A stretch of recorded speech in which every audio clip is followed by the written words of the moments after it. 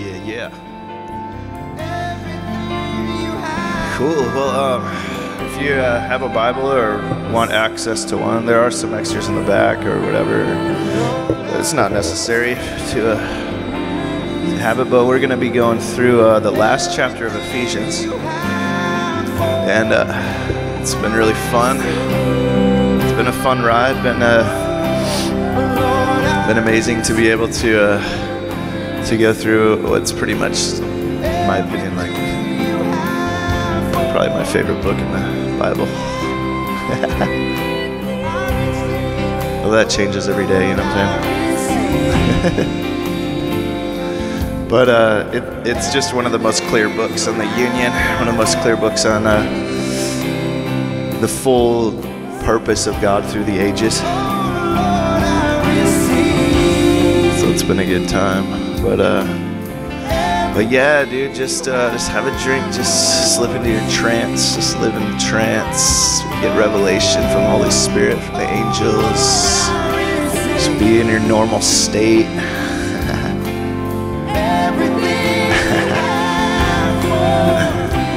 Last week class got carried away.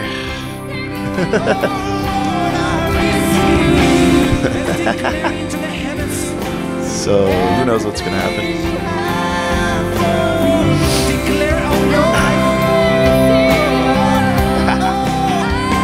I just like to keep the music going in the background and just whatever, even if you're not getting something from what I'm saying. Be live in intimacy, the creator of the universe. Live in intimacy with your truest self. Just sit and let the frequencies of heaven move through you.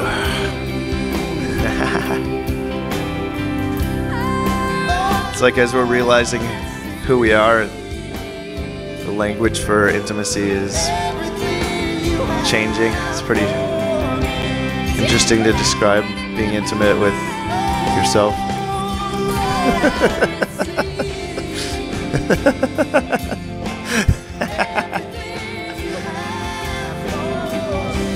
but it's so much beyond language. I don't really mind. Uh, it's about the heart of it, the heart of the matter.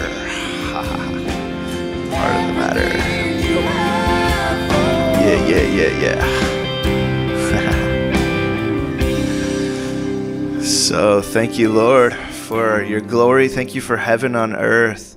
Beginning to experience every day uh, just a harder hit of heaven's glory just a just a, a deeper awareness of the fullness of the kingdom of God all around us, within us, above us, surrounding, encompassing, becoming all things Christ, all in all. So we just come today again, just let our eyes be directed, woo, and awakened, open to even greater realms of this new world.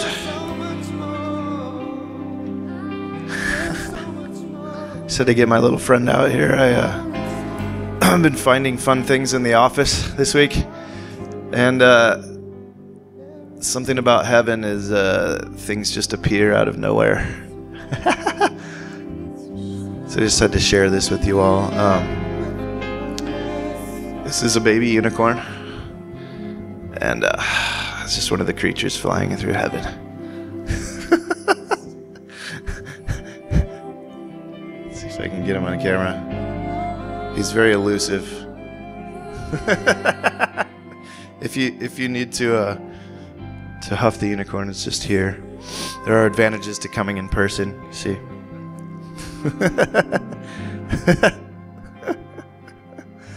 uh, don't take yourself too seriously. Like I was sharing last week, Jesus took care of all the serious things at the cross. Your life is bliss and buttercups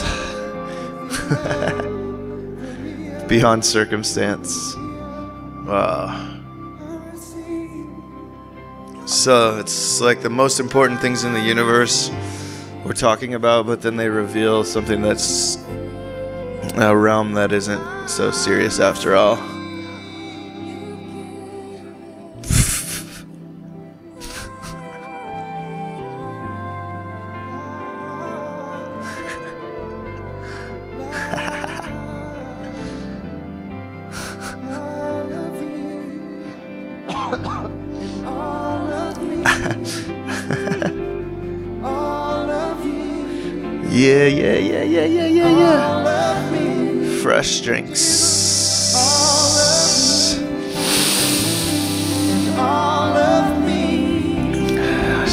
Time to admire how the S sits on his name once again.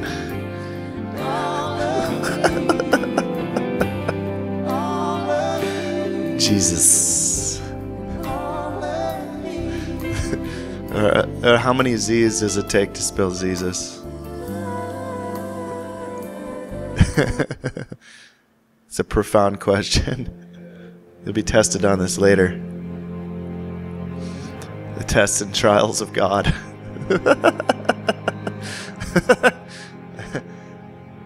How many Z's does it take to get to the center of Jesus?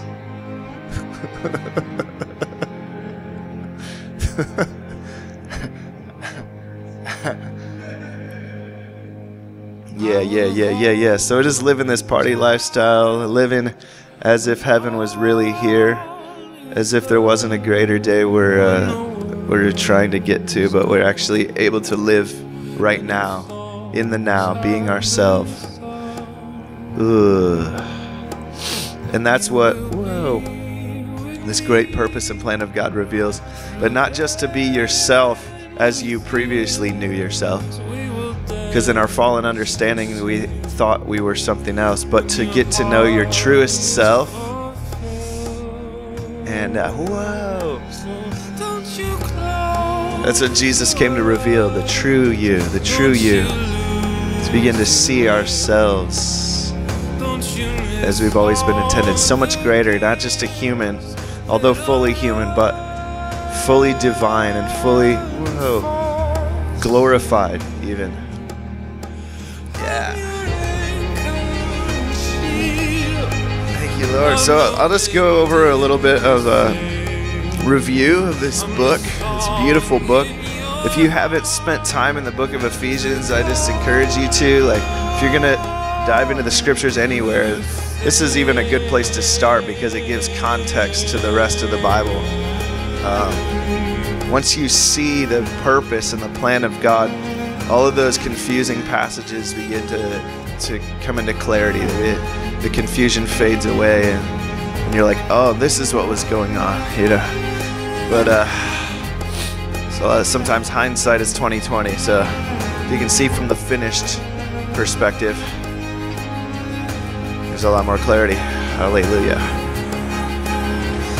But yeah, starting right from Ephesians 1, it says there's an intimacy that's always been established and preserved inside of Christ. So you don't even have to establish your own intimacy. That's the good news is no matter how much you messed it up or how much you're even trying to uh, learn about God, Hebrews 8 says that they shall all know me. And that's the that's the day you're living in a day when the knowledge of God has filled every everything, every person, every all the cosmos filled with the knowledge of God. And so you're you're living in a union right now. You can't get closer to God. You can't get further from God. You're in the center of the throne. The throne's in the center of you. I am in you and you are in me.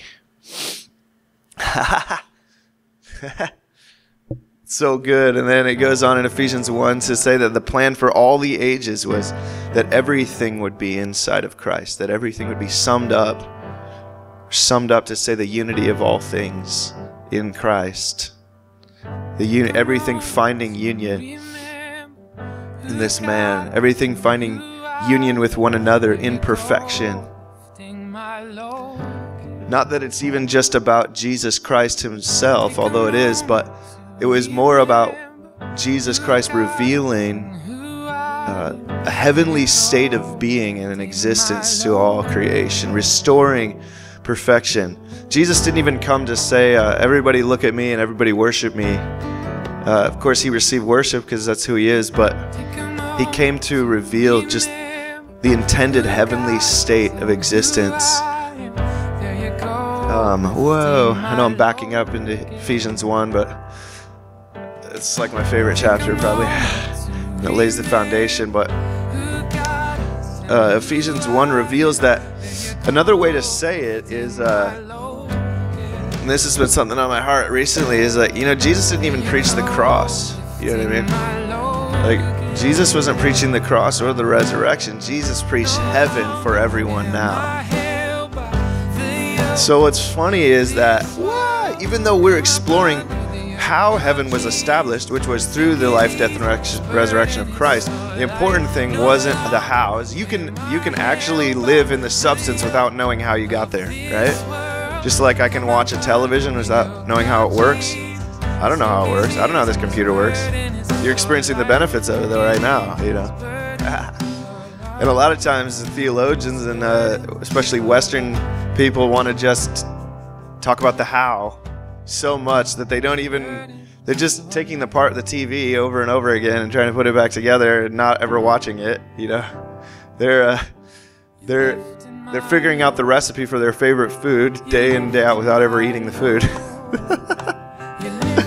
Woo! And that actually does begin to matter as you begin to explore the universal nature of this gospel that maybe there's some people out there that are experiencing the fruit of this gospel without even ever hearing how it was established. And uh, I don't think Jesus is upset about that. it's like I've met people and I continue to meet people that know Jesus as a person and by the Spirit and yet have not discovered his his physical name or they don't even know his story as revealed in the scriptures, but they're experiencing the person. And uh, God is so good. He's not concerned whether you uh, have all the hows down, you know? so I've just been getting wrecked by like, how long can you just stare into this gospel and let the fruit begin to like unfold in so many ways that were different than maybe what you thought before, you know. I think this is the unfolding of like the ages. It's like what we're going to be it's going to I mean it's what we're doing for all eternity. It's just discovering how rich this gospel is. Woo woo woo woo.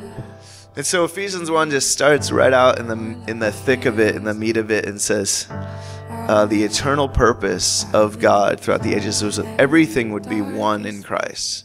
Everything would be united to to the, the Christ state of being, that everything that Jesus is and has, you are and have now as a free gift. Woo!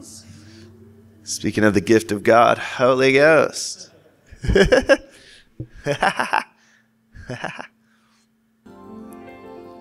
everything, everything. Ah.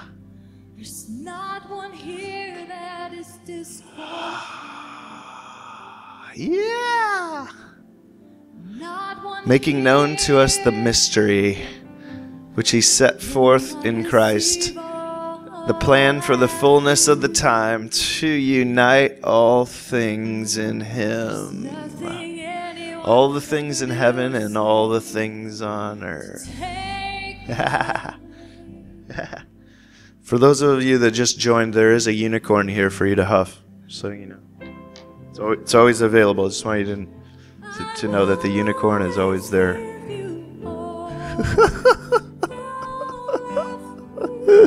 Woo! Feel free to express your joys in these classes, you know what I'm saying? Just be yourselves, just like, you don't have to walk on eggshells. No one has to pay attention to me, you know what I mean?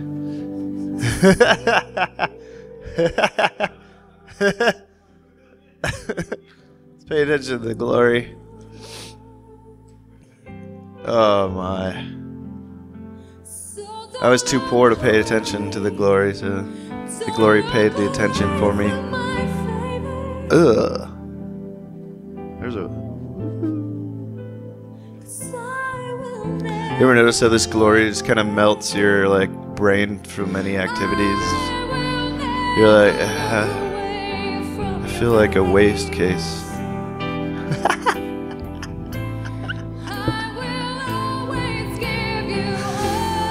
We're like lovers that are gonna outwork the workers, but uh, can't really do much. so I don't know what that makes me.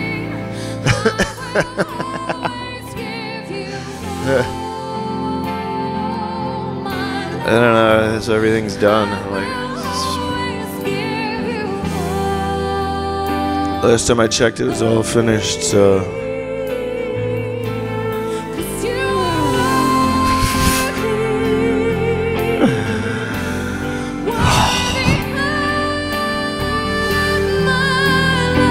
Oh, that serious music again. Help me, Lord.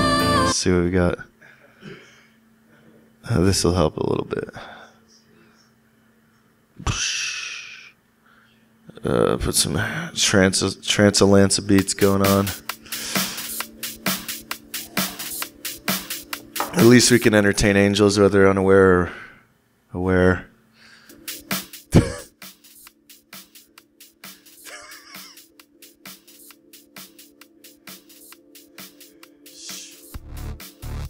Thank you, Jesus. Oh, just take a minute and experience the substance of what you're talking about.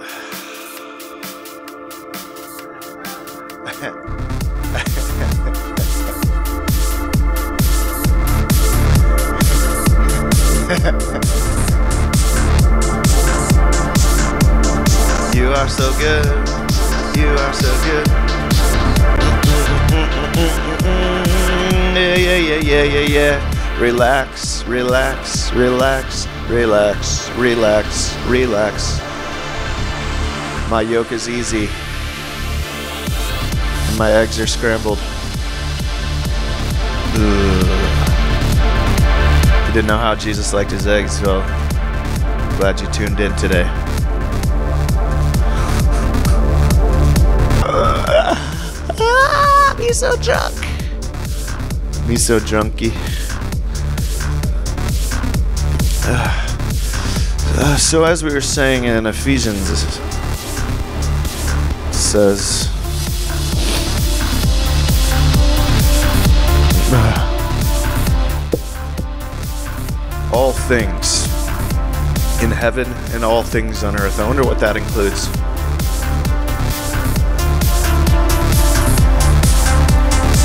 Someone once told me to do a word study on the word things.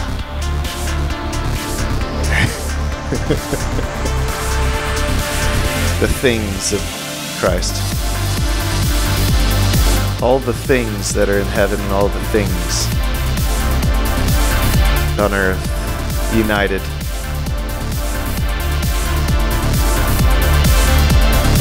Ugh. Some good things. Uh, woo! Yeah, uh, it really is this crazy. Um. ugh. So Ephesians leads you through this journey. The first few chapters, you know, they're just uh, revealing the nature of this union, this indescribable. How high, how wide, how long, how deep is the love of Christ, which together with all the saints in one has encapsulated something, something where you become Jesus because Jesus became you. Something where all of heaven becomes you and all of, all of earth becomes God, and the, the lines are blurred between who is what what is what? What is, who is As our friend John Lynn would say, where nothing begins to exist, or where everything ceases to exist, because there's only one thing.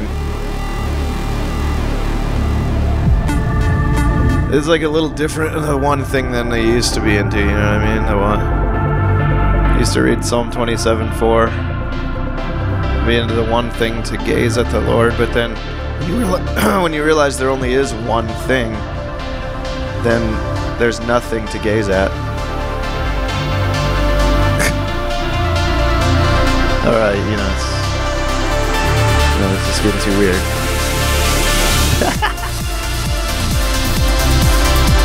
it's like who is looking out of your eyes right now? You know what I'm saying?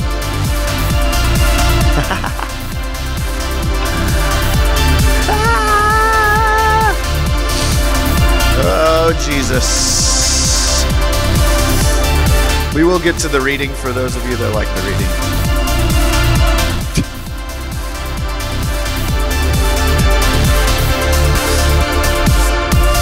So we move through Ephesians 4 and 5. Uh, now coming up to chapter six, it's like Paul begins to to talk about some practical life, which is good. It's good to have some practical uh, things like we were talking about last night.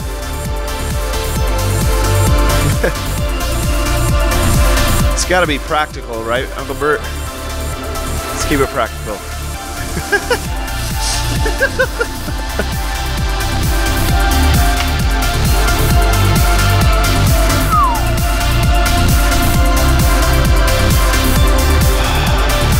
but uh, whoa, this gospel it does produce real life things that happen. You know, it's not just like, oh, now we're all free, so like you can just, you know, engage in darkness and pain, sickness, sorrow, suffering. No, there's a heavenly life, a heavenly mode of existence. And uh, so as we were talking about last week, like Ephesians 5 is like one of the most practical ones, which if you read it by itself, you you can easily get like just back into behavior modification again, back into, you know, whatever. But if you read it in context of the chapter or the whole book, you just see that Paul is describing a normal heavenly existence where there's no sexual immorality. Yay! No impurities. No uh, no need to get drunk on alcohol. Yeah, exactly. No need to have unhealthy marriage life, you know. Paul is not afraid to talk about all these topics because it feels so good to flow in purity. It feels so good to have light flowing through your being. And if you, if that kind of heavenly uh, manifestation isn't flowing through your being, then you won't experience heaven. You can be in heaven and feel like hell, which is what most people are living right now. It says in Colossians 1 you feel like enemies of God because of your behavior, because of your evil behavior. So, this isn't a gospel that just comes to declare the first three chapters of Ephesians and just leaves you with uh, concepts or, or even just, uh, you know, the plan of God, but then it's a gospel that gets walked out in practical life, which is why uh, I love what my buddy Chris over here posted on his Facebook. Like, Let's talk about sin free existence. Let's talk about evil free lifestyle. Because if it's just uh, Christians are forgiven, but nothing changes, it's like saying, Welcome to heaven, you're going to feel like hell, and you're going to hurt everybody for the rest of your life. So have fun with that. so I just thank God, and I, I just, even as we read this chapter today, just feel the purity and the holiness just flowing through your being. Like, feel real, practical, like fire burning through you. That you would have a. What's so great about that purity, the pure in heart see God, like your eyes are so clear and there's like passion, there's like, there's like, you have energy, you have light. You're not like, when you're when you're engaged in an activity that's not the true you you can you can feel almost a cloud come over your eyes. You can feel like a it just affects your being, you know. And so Paul's like, "Oh, hey guys, like as a good apostolic father, I'm going to preach you the gospel. I'm also going to say, here's what the gospel looks like, you know. Here's a demonstration of a new life. Here's a a practical holiness. 1 John 3 9, that no man who is born of God can continue to sin.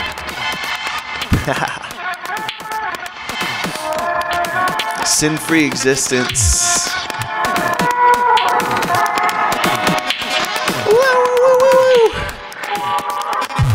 So that's what we were kind of looking at last week with Ephesians 5. Let no filthiness or sexual immorality or impurity or drunkenness or whatever be be on you. Just like live clear, dude. Live. Uh, live clear or there's easy confusion that just comes back in in you know but he doesn't he doesn't give you like these behavior things without the secret Woo! The secret of, uh, of maintaining absolute perfect holiness is just abiding right where you are in Christ.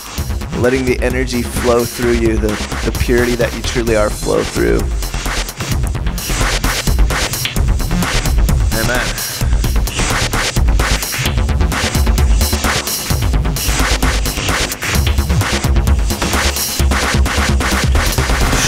Just feel it. I, sometimes he can. Uh, sometimes it just feels good to sit and just allow your purity to burn through your being.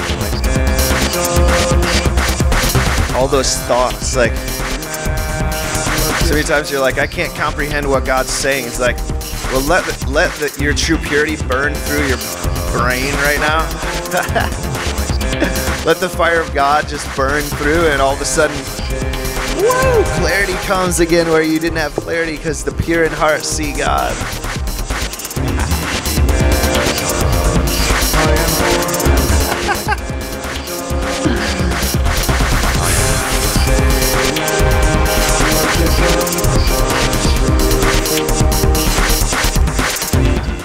as you sit there just feeling your purity, just read, finally get to the chapter that we're on today, Ephesians 6. Just gonna read it for you.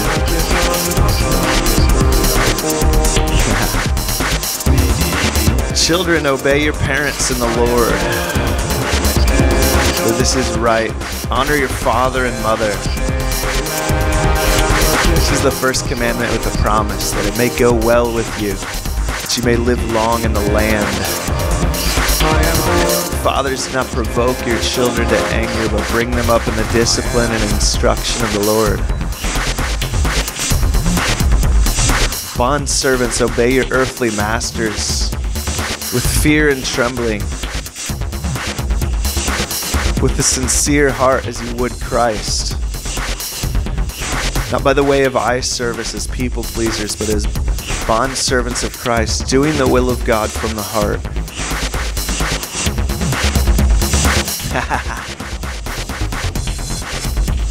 Rendering service with goodwill as to the Lord and not to man, knowing that whatever good anyone does, this he will receive back from the Lord, whether he is a bondservant or is free.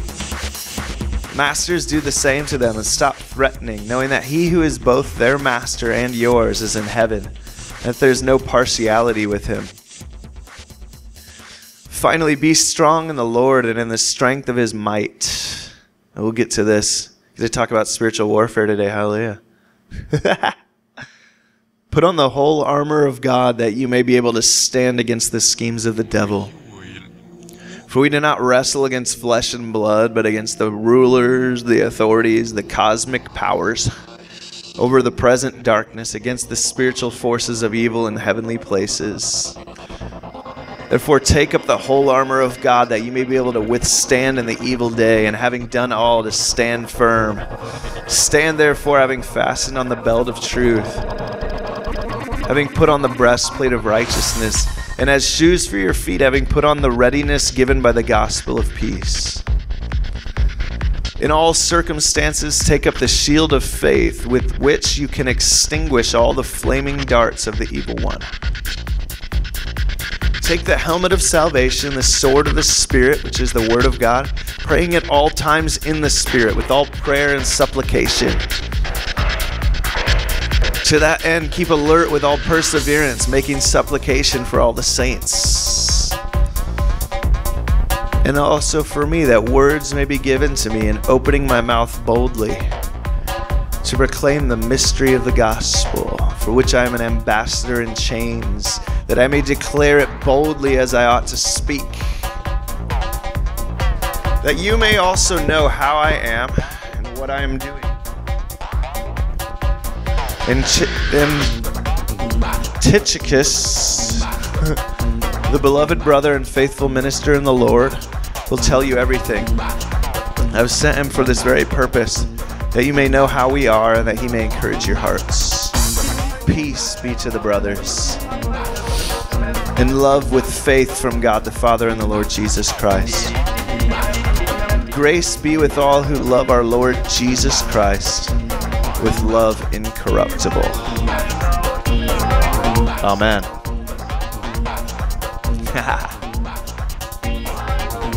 Thank you, Lord.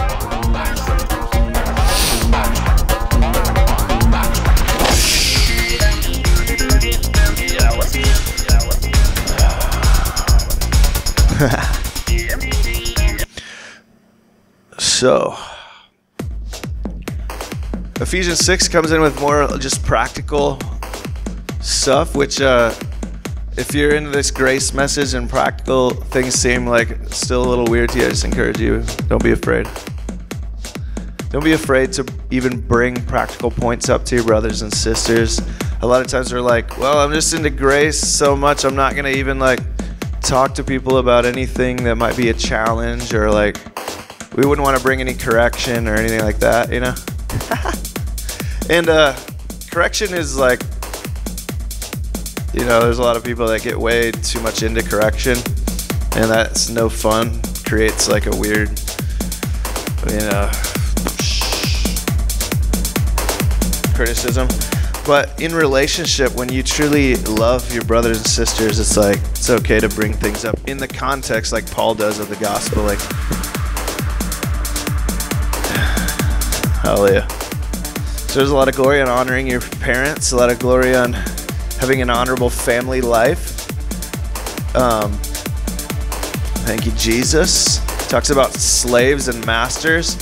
Now, it's not like Paul is uh, advocating slavery here, but there's something interesting you can gain from that as well as like reading about the uh, how Paul deals with slavery. It's like a lot of times we just we're so eager to change circumstance, but it's obvious that Paul knew a gospel that was beyond circumstances.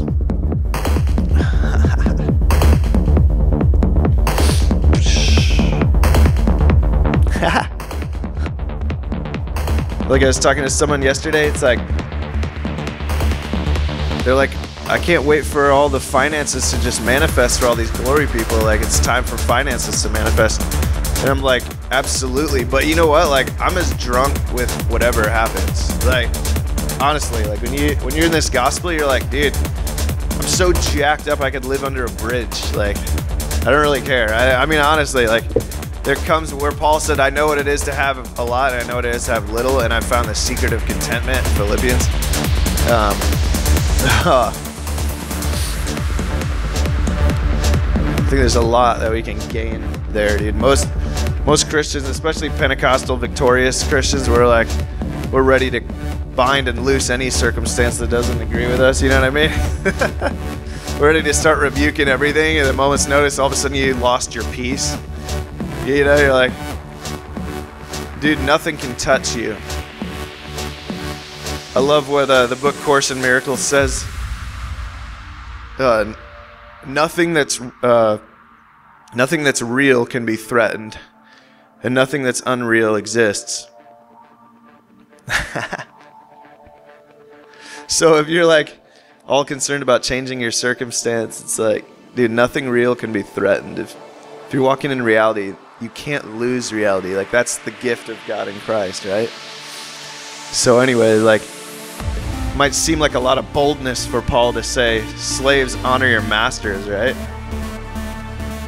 It's like if you're stuck in a job that you don't like right now or whatever. Of course, you can you can have a greater circumstance manifest, but you also, if it doesn't manifest, you can still walk in the ultimate bliss. You know what I mean? Hallelujah.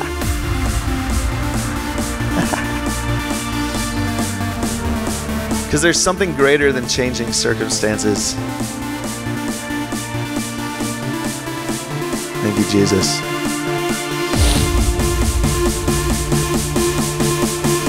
All right, hallelujah.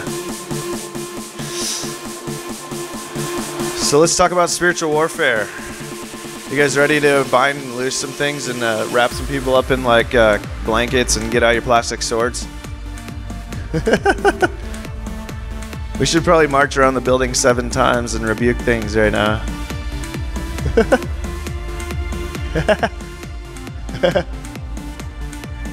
or uh, or plead the blood over everything, whatnot. I don't know. I don't really care. Doesn't bother me, but uh, we get questions a lot because there are people that are tormented in this world. There, there's people that are experiencing demonic stuff. Like, and maybe maybe you haven't seen that in a while. Praise the Lord. uh, but I mean, you know, we went to India last year and we saw people foaming at the mouth and whatnot, or in Nepal. And uh, there's a lot of crazy stuff going on, right? So,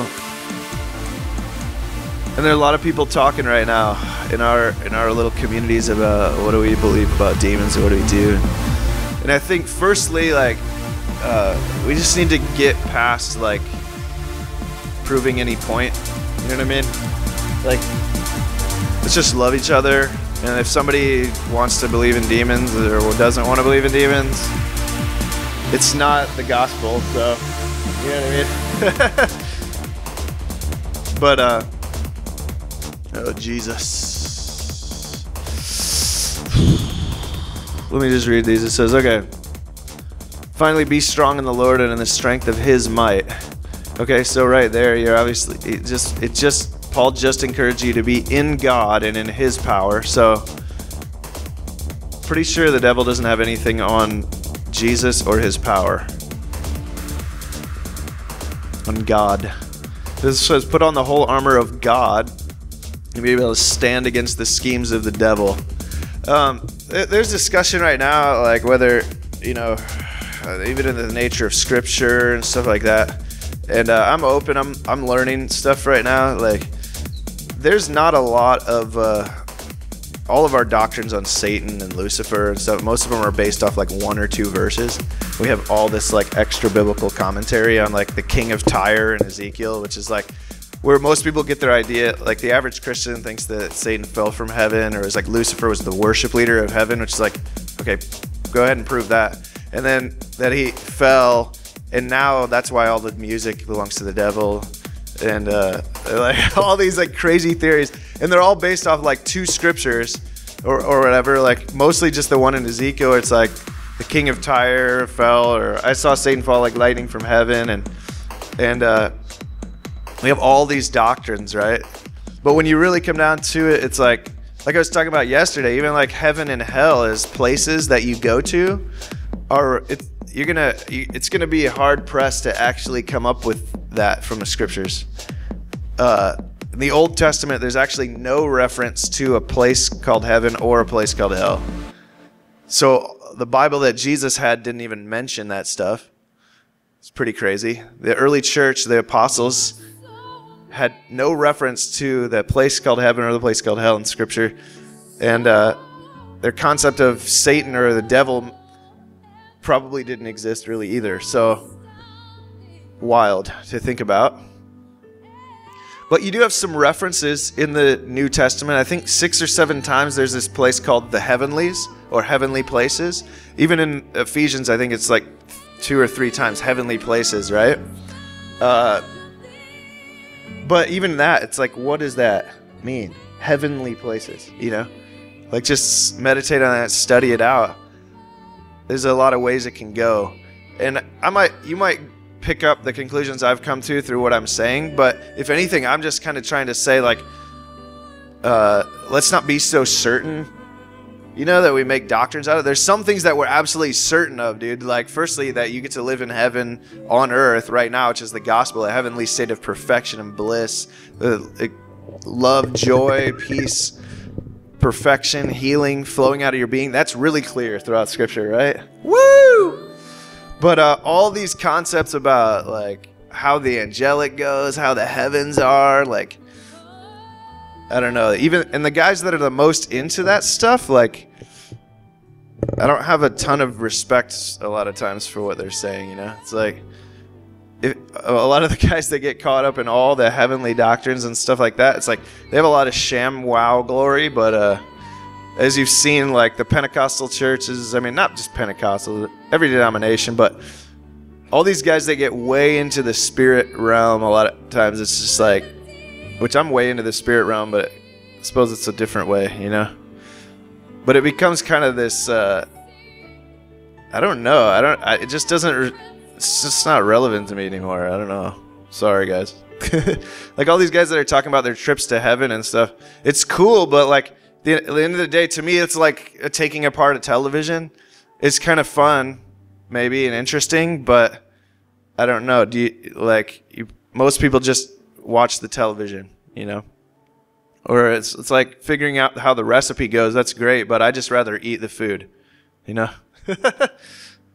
so, but it's not wrong. It's like cool if you really like to, you know, know all the names of the angels and demons and you know, and all those realms. And maybe you will. Like some people that you know, they see all these visions, but it's almost become this thing where like it, it, it makes people feel inadequate again like if they're not experiencing all these things you know and it's really like you have all these conferences where thousands of people come to hear the one person that had the heavenly trip you know and then all those people go home feeling like what's wrong with me because i don't have those you know and then all the people that have visions of heaven or visions of hell all contradict one another you know you know and you're like okay so I'm not trying to like decrease your faith for the supernatural or anything because I love the supernatural, but so anyway.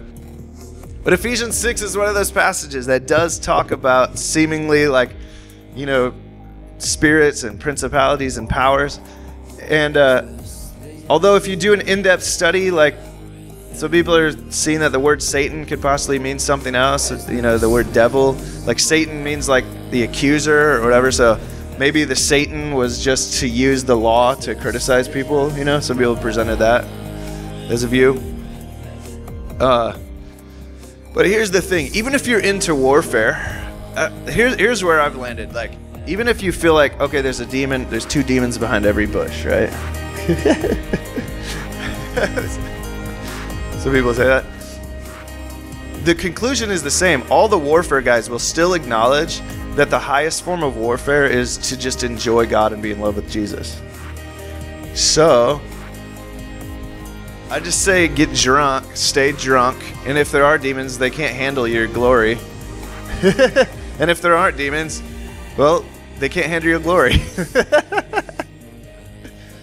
like, if there is a battle going on, regardless, whether the battle is against ideas, arguments, or literal spirits, or whatever it is, you resting in the power and glory of Christ triumphs over those things in every case. So you may discover some things and be like, no, brother, like it's really important that we know all this stuff about the true nature of Satan and stuff. And I'll be like, okay, cool, that's great. Literally, I'll I'll listen. But dude, at the end, I, if it doesn't lead you to just a place where you're like hammered drunk, with your cloud expanding everywhere you go, just like releasing the cloud of heaven, the atmosphere of heaven then uh, I'm not really interested, you know. Woo! It's like we even when we were in warfare, we're like, okay, the highest form of warfare is just like joy, you know. it's just rejoicing, like just celebrating and like the devil's under our feet. Whoa, we're triumphing, trumpeting on the devil and all that stuff. So cool. Like now it's just like I'm so drunk and rejoicing, so caught up in heaven that most of the time I forgot that there could even be demons, you know? So, I don't know, man. It's like whatever. But so what was Paul talking about here, brother? Um, he talks about the armor of God, okay? Um, a lot of glory in the armor of God. First of all, it's God's armor, it's not yours. So it's something that He's just given you uh, as a gift. It's not something you have to figure out. It's it's like the joy of the Lord. It's the Lord's joy. It's not you trying to muster up your own joy. And all of these things that have to do with the armor are all pointing to the finished work. They're all it's the shield of faith. What is that? Faith in Christ's work. The helmet of salvation. What? Christ saved you. The sword of the Spirit, which is the Word of God, which is Jesus who communicates all the, the reality of your union. Uh, the, sh- the shoes of the gospel. Uh, there you go. It's the gospel. The breastplate of righteousness. You're righteous. You know, truth, which is I'm perfect. I'm living in heaven. So all of these things are just like I, I feel like it's more like descriptions of just the confidence in who you are in Christ. There's more ways to describe it. So we've turned these. This this is what because we haven't had revelation of Christ in the church. We've come up with all these crazy doctrines about have you got the breastplate on, brother? It's like, dude, just preach the gospel, and the breastplate's there. It's just a description, you know. Your breastplate's on. Do you believe the gospel? Woo! You got all the armor on. Simple. Okay. Thank you, Lord. yeah. But because and I will say one thing though, like if you're into if you're really into warfare, dude, I've just found it actually for the most part detrimental where it's gone, dude. Where this whole spiritual warfare thing's gone has just gone crazy. Like um because it says here like our battle is not against flesh and blood. In other places it's like uh, we don't wage war like the world. You don't wage war according to the flesh. And uh, most of the guys that are into warfare just look like a military dictator but it says it's not like the world's warfare, right? Like they'll be like, "Well, I don't believe in hippie Jesus. I believe in a God of war, you know, warfare. What about all the war? Don't believe don't believe in a wussy Jesus." But it actually says like, "How do you wage war? Through love, through peace." You know, He's the Prince of Peace, or it says, "Uh, the peacemakers are sons of God." You know, not the war makers. so we got all these warfare guys like blah, blah, and they're like, and, and what it does is actually like usually when you hear someone preaching on warfare, they're trying to stir up your strength, which the, is completely anti-gospel, right? Like completely anti-Christ. Like the the gospel is you couldn't do anything in your own strength. Like you couldn't do enough. And so all these guys that are pumping you up for warfare are literally training you in the antichrist like basically training you to be defeated. So it completely like flips it around. If if you're like always trying to figure out the new warfare strategy and like stir up this thing, it's like all of a sudden you find yourself probably interacting with more demons than you ever would have. You know, and getting defeated by them because you're coming not in the strength of the Lord and in the power of his might. You know, the power of his might is rest. Ugh, like do you think God ever has to get up off his throne to defeat anything? like, one word from the mouth of God created everything. So it's like, if there is warfare, it's simply like, bam. You know what I mean? Like, it's like, uh, you're defeated. like, what? So if you want to hold on to any sort of warfare, please do it through the upside down kingdom model. You know what I mean? The opposite. Do it through the not like the wor- world does. The world wants to, st- you know, in a natural army, the colonel has to stir you up to get you pumped to uh, to go out there and. Ah. And that's why you have all these intercessors that are yelling till their voice is like hoarse. You know what I mean? yeah, the, the intercessors usually have a lot of vocal issues, you know, after a while. It's like, is this thing on? Do I need to yell louder? but the most powerful like people that you meet are usually the ones that are just like so chill that there's like this crazy peace that's like taking over everything, you know? They're like like the prince of peace. Like that they can they can dandle children on their knees. Just bouncing the little kids, just bouncing like little kids, you know? But I've met some of these warfare guys, they're so into it, they don't even like to be around kids. I don't know if you've met any of those people. They're so into spiritual warfare. When the kids get in, they're like, get them out of here, you know? Like, I met one guy, and a lot of you guys may know who that guy is, but it's like, I don't even want to see children until they're over 10 years old because they're no use to this person. it's like you're so into slaying demons and everything that you're like, just uh, anyway.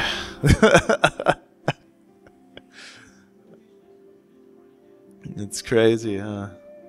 It's, yeah, yeah. That, that's that's a good. That's something I wanted to bring up. It's like people talk about demons. I'm like, this is where you have to understand the two realities. Like in a lower reality, you can create whatever you want. In your own reality, which is what the fall was, or the old creation, the old creation is something that we, as the gods of the earth, created with our godlike power.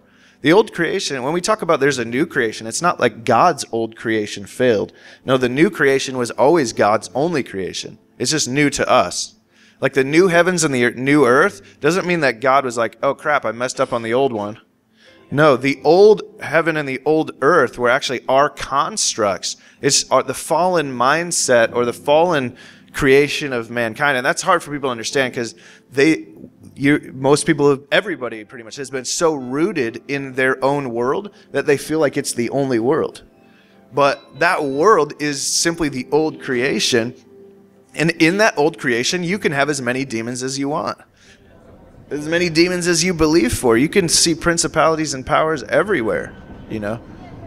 And uh, but that's the thing. It's like it's it's a it's a theoretical world, or it's like a it's a it's really a non-world, you know, and that's where demons do exist. So people are like, well, I saw these people manifesting demons. They were foaming on the mouth. Like someone brought up to me, like I've met children that are like one or two years old, and they're like convulsing and and voices are coming out of them and they can't even talk like that there's obviously demons in the, in the world and i'll be like you know these children were birthed into a non-reality by their family and by their parents and uh, i hate to see that can i say that that's not real? No obviously something is going on there but it's just like your world that you created of your false thing where you thought all of these things existed. With your you don't know how powerful you are. You actually form worlds. And uh, and so it's i like to describe it like a negative number. Like negative numbers do they exist? Well in theory in a theoretical reality you can interact with negative numbers. You can add negative numbers and subtract negative numbers. But in reality i can't have negative one cups. You know what i mean? I can't have like neg- negative two iPhones or whatever, at, you're like, so people are like, no, no, no, I saw somebody that had negative one things. It's like, well, in their theoretical world, you can interact with that. And, and that even that analogy breaks down, but it's describing, it's trying to point you to a picture. There are things that are going on that are kind of indescribable. Spiritual things are pretty hard to describe. But so someone asked me, do demons exist? And where I've landed is yes and no, but ultimately no. so it's like people want to pigeonhole you and they want to get a straight answer out of you yes or no do demons exist it's like well or, or does sin exist? They want they want to know brother does sin exist? I'm like well does a negative number exist? That's the best way i can describe it at this point you know. What? In a heavenly reality, you don't have to interact with those, those things. When you're living as Christ in heaven, are there demons in Christ? If Christ is all and in all, can demons exist in, in Christ? Probably not, huh? Pretty sure Jesus isn't possessed by the devil. Pretty sure there aren't demons floating around Christ's belly. so the the the issue is, are you aware of this world? When you're aware of Christ and all that's real to you is Christ, then demons can't exist in that realm. And so it won't, they, they can't even touch you. They can't, they, they won't, whoa. That's why John 15 says, Abide in me, you'll bear much fruit. It's simply abiding, just being right where you are. And if you have a moment where you forget that, then just remember, and all of a sudden it's all real to you again. And as your awareness of that realm of Christ, which is all a pure gift, happens, then even those, if somebody's possessed by demons around you or oppressed, as they get close to you, their reality changes because yours is greater. And that's what we saw in India. Is like uh, we just get near some of these people and they start to vibrate. I didn't cast out any demons, but I saw demons coming out. Like they're just as you get close to them, and th- that's why like when I when I went to Nepal and India before, like like eight years ago, I was a little bit afraid. Like they're kind of teach you this fear of demons, and that's why a lot of people are like, "Oh, don't say that demons don't exist," because like that's the devil's primary goal to get you to believe he doesn't exist, so he can get you. You know, there's all this fear, like, oh, now you're a little afraid. And uh, when I went to India and Nepal before, they're like, "This is the darkest land in the world, brother." They're like, "How did you survive over there in India with all those demons?" I'm like, "Are you joking?" but back in the day, I would have like had a little fear, and then all of a sudden, like you know, you you do feel things. You start seeing things, and you're like, but you came in agreement with this realm that doesn't even exist. You started interacting with that realm, and so your words have power. I, I just choose to declare that Christ is all and in all, and I'm just going to be aware of Christ. And uh, as that reality just possessed me, this time I went, it was just hilarious. Like, like sometimes I felt like little things like trying to bounce off, but it was almost I got drunker. It was like experience. so I was like, whoa, something's messing around here. And as if those things aren't happening in America as well. But uh, wah! But when angels appear, they always say, "Fear not, people." when you're Christ, when Christ is all and in all, you're pretty sure you don't have to worry about the devil. And that's all the all this language of the helmets and the breastplate and all that. It's not about any sort of weird prophetic act. Hallelujah. They're just you know, Paul was always looking for more ways to describe this gospel. You know, here he he chooses to use armor. So don't get too caught up in it. It's like next time he's going to be using some other picture for you, you know. Hallelujah. So So that brings us to the end of Ephesians. Hallelujah. It was a, it was a glorious book a glorious book of union, of perfection, of bliss, of describing this gospel in greater and greater ways. Yeah, yeah, yeah, yeah, yeah.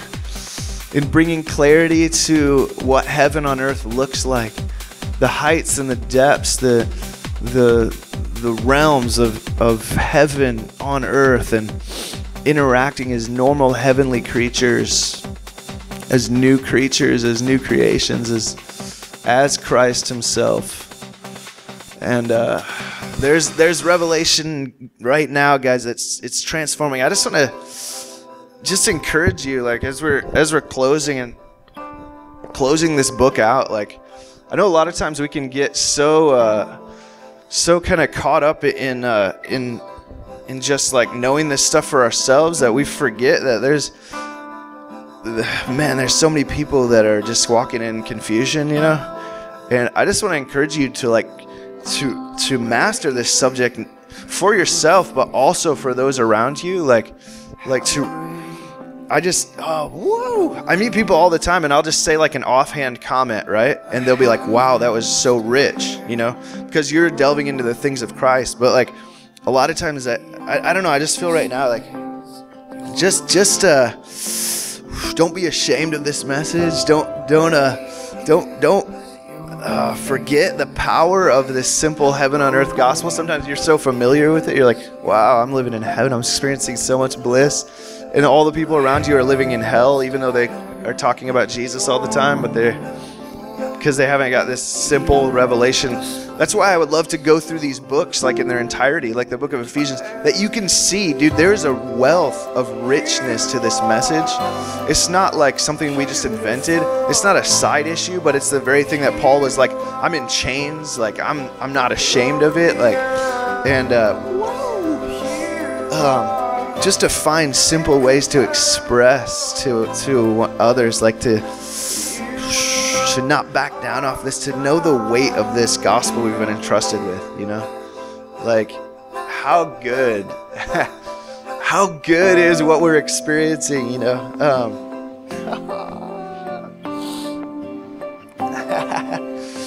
you're not crazy, you know, you're not deluded. Your life is so uh, powerful, and uh, you've been restored as the kings and queens of heaven and earth. So, yeah, yeah, yeah, yeah, yeah, yeah. So, Father, we whoa, we want to just express. We want to manifest. We want to demonstrate this love. I thank you for perfect health in this place. I thank you for extending perfect health to all those around us. I thank you for a realm right now, Lord, that's so real. It's what you purchased. There's no more distractions, Lord. I thank you for a clarity in our just existence to demonstrate Christ, to, to be Christ, a world filled with Christ and only Christ. I thank you for grace just overtaking. Thank you for wow, for such kindness, Lord. That the church would be known not for all of our uh, shandabanabandas and uh, rebuking demons, but we would just be known for being the gentlest, most childlike, innocent lovers. Ah, that every fear would be assuaged. That every insecurity would be calmed by the fact that we can't get away from your love. Hmm. Yeah, yeah, yeah, yeah, yeah. Fire.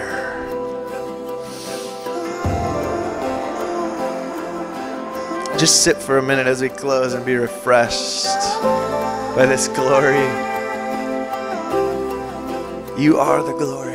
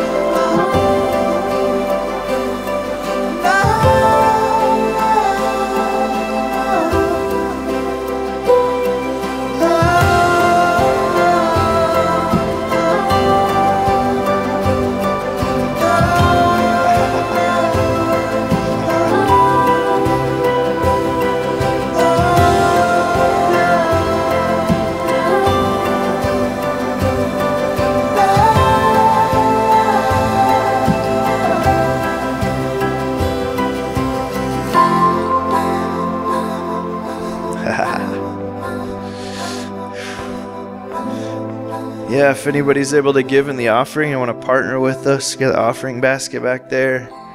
And uh, if you're online, just you can go to the firehouseprojects.com. Just uh, there's a donate button right on the home page. Love it. A lot of glory. And uh, we'll see you next week.